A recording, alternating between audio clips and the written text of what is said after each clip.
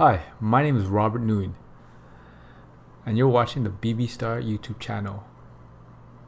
Click on the little red button to subscribe to my channel to get the latest videos on how much your favorite YouTubers earn. And click on the bell notification icon to get post notifications and never missing any new videos. So in this video I will show you how much money does Peter Hollens make on YouTube. Peter Hollens is an American singer, songwriter, producer, entrepreneur, and educator, educator, best known as a classically trained vocal artist specializing in cappella music on YouTube and Facebook.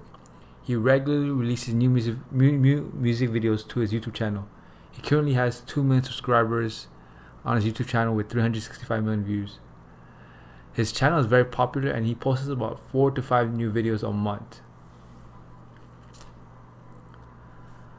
Now let's talk about his most popular videos. Epic Disney Villains Medley has 15 million views. I See Fire The Hobbit has 15 million views. Disney Medley has 12 million views.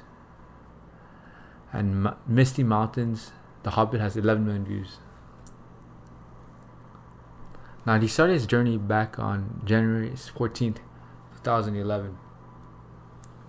Until today, total amount of subscribers are at 2.1 million Total amount of views is at 365 million. Average daily subs is 571, and monthly subs is 17,145.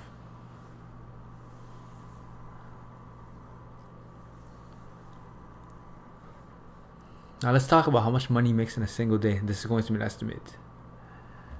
Daily views, he gets about 170,000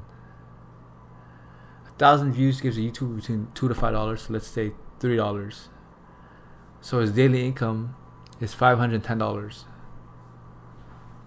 His monthly income is fifteen thousand three hundred.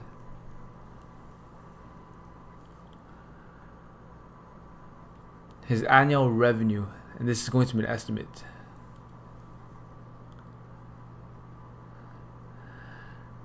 His income is 183,600. Now YouTube cut takes 45%.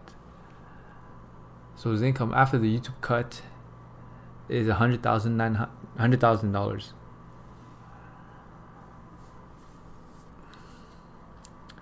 now Peter Hollens also sells music.